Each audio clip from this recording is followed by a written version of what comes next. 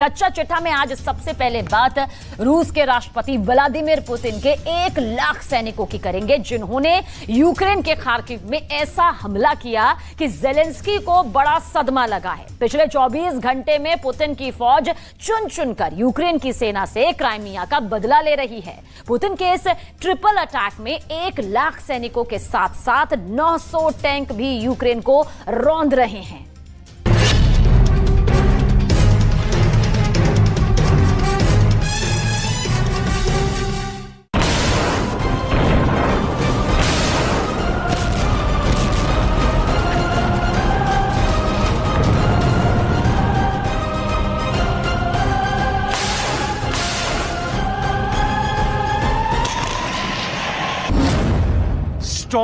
Set के हमले शुरू।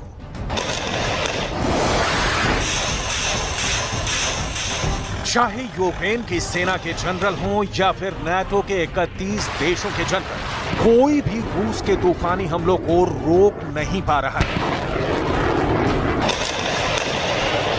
4 जून से शुरू हुआ रूस के खिलाफ यूक्रेन का काउंटर अटैक 45 दिन या कहें कि डेढ़ महीने बाद भी रूसी सेना को यूक्रेन के पूर्वी और दक्षिणी इलाकों से खदेड़ नहीं पाई है। ऐसे भयानक हालातों के बीच यूक्रेन के जनरलों को जो खुफिया जानकारी मिली है, उसने जेलेंस्की के साथ साथ नाटो के भी होश उड़ा दिए हैं। यूक्रेन के कमांडर और जनरलों ने चेतावनी दी है कि पुतिन ने बेहद खुफिया तरीके से यूक्रेन के खारकिव इलाके में स्टॉम जेड के तहत हमले शुरू कर दिए हैं। हम आपको आगे बताएँगे कि आखिर क्या है पुतिन का स्टॉम जेड हमला। लेकिन आप इतना जान लीजिए कि पहली बार पुतिन के सबसे माहिर एक लाख सैनिकों ने खारकिव इलाके पर हमले शुरू कर दिए हैं। खारकिव में उतारे रूस ने एक लाख सैनिक रूस के स्टॉर्म जेड हमलों की तीव्रता का आप इसी से अंदाज़ा लगा सकते हैं कि महज 24 घंटे के अंदर रूसी सेना ने खारकिव इलाके के लीमन और कोपियांस्क में 1000 टैंकों के साथ हमला किया है। दावा किया जा रहा है कि रूस के 1000 टैंकों को टी 90, टी 72, टी 80 टैंकों से हमले शुरू किए हैं। रूस का दावा है कि यूक्रेन ने काउंटर अटैक के लिए जिन सैनिकों और घातक हथियारों को खारकियों में भेजा था, उसे रूस अगले बहत्तर घंटे में पूरी तरह से तबाह कर डालेगा। रूस के स्टॉर्म जेट हमलों में 1000 टैंकों का पुतिन की सेना पहली बार इस्तेमाल कर रही है।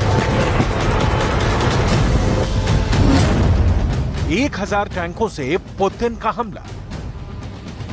नाटो देश लिथुआनिया में नाटो के 31 देशों की मीटिंग में जेलेंस्की को भरोसा दिलाया गया था कि रूस के घातक हमलों से बचाने के लिए यूक्रेन को हर तरह के घातक हथियार दिए जाएँगे।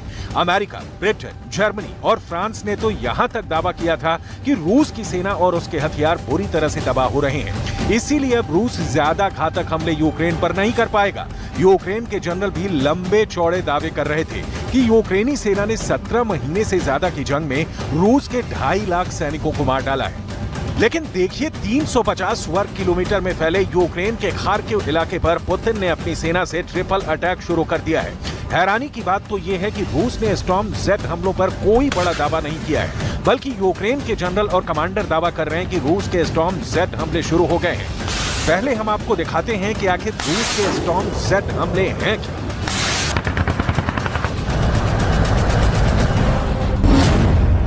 स्टॉर्म सेट के हमले शुरू।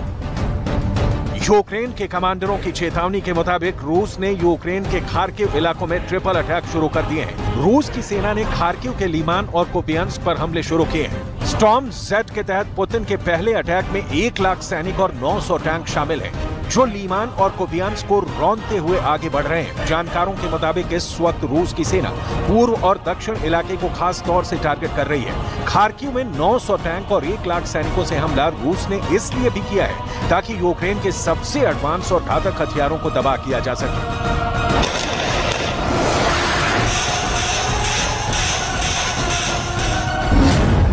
स्टॉर्म जेड के हमले शुरू।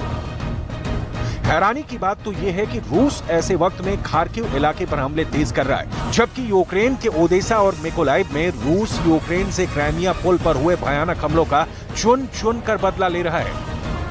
खबर के मुताबिक यूक्रेन के ओदेसा और मेकोलाइव में रूस ने भारी तबाही मचाई है। रूस के कब्जे वाले क्राइमिया पुल पर हमले के बाद से ही रूस लगातार यूक्रेनी क्षेत्रों को निशाना बना रहा है यूक्रेन के कमांडरों का कहना है कि रूस ने उसके ओडेसा बंदरगाह पर लगातार दूसरी रात हवाई हमले किए हैं रूसी रक्षा मंत्रालय के प्रवक्ता इगोर कोनाशेंको ने रूस हमले पर खुलकर बयान दिया है Сегодня ночью вооруженными силами Российской Федерации нанесен групповой удар возмездия высокоточным оружием морского базирования по объектам, где готовились террористические акты против Российской Федерации с применением безэкипажных катеров, а также месту их изготовления на судоремонтном заводе в районе города Одесса.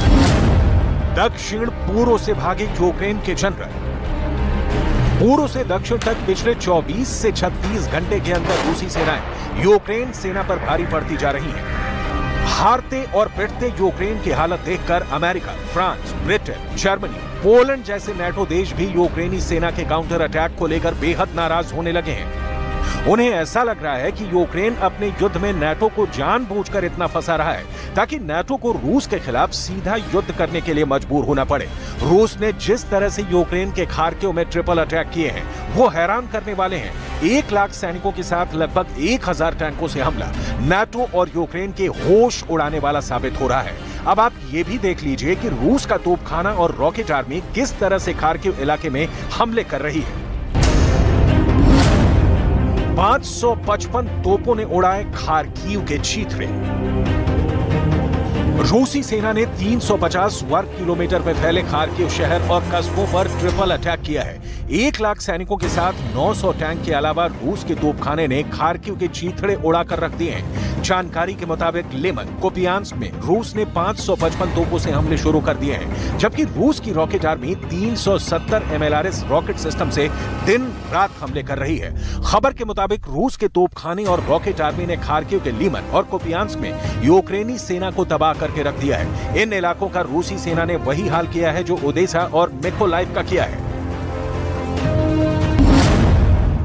दक्षिण पूर्व से भागे यूक्रेन के जनरल Кроме того, в районе городов Николаев и Одесса уничтожены хранилища топлива общим объемом около 70 тысяч тонн, с которых осуществлялось обеспечение военной техники вооруженных сил Украины горючим. Все спланированные к удару цели поражены. Зафиксированы пожары и детонация на уничтоженных объектах. यूक्रेनी सेना के जनरल और कमांडर जेलेंस्की को लगातार ताजा हालात के बारे में जानकारी दे रहे हैं बेशक यूक्रेन के पास बेहतरीन खुफिया इनपुट और नेटवर्क मजबूत है लेकिन पुतिन जैसे लड़ाके के सामने नाटो और यूक्रेन पानी मांग रहे हैं। रूस के स्ट्रॉम जेट हमलों को लेकर यूक्रेन में हड़कंप मच गया है, क्योंकि पुतिन ने डेढ़ महीने पहले ही कह दिया था कि रूस के सात लाख रिज़र्व सैनिक जब यूक्रेन पर चारों तरफ़ से हमला करेंगे तो यूक्रेन को कोई बचा नहीं पाएगा।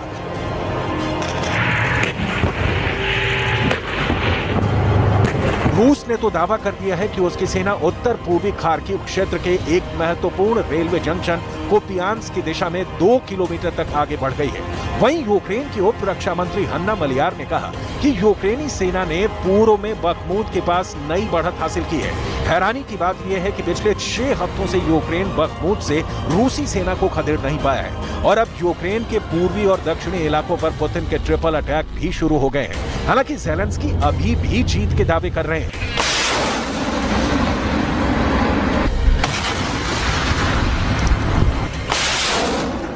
всі розуміти дуже чітко, максимально чітко, що російські сили на наших південних та східних землях вкладаються усім, чим можуть в те, щоб зупинити наших воїнів. І кожна тисяча метрів просування вперед, кожен успіх кожної нашої бойової бригади заслуговує на вдячність. Усі, хто йде на штурм, जानकारी के मुताबिक रूस ने 10 दिन पहले ही खारकियों पर स्टॉम जेड हमलों की तैयारी शुरू कर दी थी। इसका सबूत आप इन तस्वीरों में देख सकते हैं। इस वक्त रूसी सेना के जनरलों और लीडर्स में युद्ध करने की ज़बरदस्त भूख जाग गई है। रूस को एहसास हो चुका है कि नेटो यूक्रेन को हथियार से ज़्यादा कोई मदद नहीं कर पाएगा। इसीलिए अब रूस ने अगले 10 दिन में यूक्रेन के पूर्वी और दक्षिणी इलाकों पर पूरी तरह से कब्जा करने का प्लान बना लिया है। जरा रूसी सेना के जनरलों और पुतिन के करीबी दिमित्री मेदवेदेव की ये तस्वीरें देखिए। जहाँ पर रूस के पूर्व राष्ट्रपति और रूस की सुरक्षा परिषद के प्रमुख दिमित्री मेदवेदेव रूसी सेना की ज़बरदस्त तैयारियों का मुआयना कर रहे हैं। तस्वीरों में आप साफ़ देख सकते हैं कि दिमित्री रूस के उस टैंक रेजिमेंट की तैयारी देख रहे हैं, जो दक्षिणी यूक्रेन पर हमला करने जा रही है। दावा किया गया है कि ये तस्वीरें रूस के टोट्सकोय रेंज की हैं, जहाँ रूसी सेना बड़ा हमला करने की तैयारी कर रही है। टोट्सकोय रेंज वही इलाका है जहाँ उन्नीस में रूस ने परमाणु विस्फोट का अभ्यास किया था। यानी रूसी सेना परमाणु विस्फोट वाले इलाके में ज़बरदस्त सैन्य अभ्यास करने में जुटी है। पुतिन ने भी साफ़ कह दिया है कि चाहे यूक्रेन के लेपर टैंक हो या फिर अमेरिका से मिलने वाले एफ़ सिक्सटीन लड़ाकू जेट रूसी सेना सभी को जलाकर भस्म कर रही है।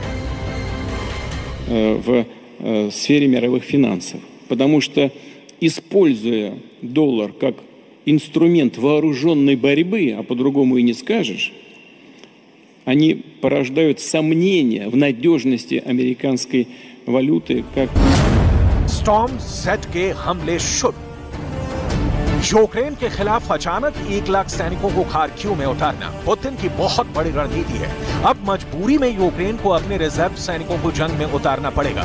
ऐसा करने पर यूक्रेन के बहुत ज़्यादा सैनिक रूस के स्टॉम जेट हमलों में मारे जाएँगे। ऐसे हालात में नेटो के सामने एक ही विकल्प रह जाएगा कि यूक्रेन की ज़मीन से नेटो रूस के खिलाफ जंग शुरू करे। और अगर नेटो ऐसा करता है तो फिर पुतिन के हाथ पूरी तरह से खुल जाएँगे। फिर पुतिन नहीं देखेंगे कि रूस घातक मिसाइलें इस्तेमाल कर रहा है। या फिर परमाणु बम।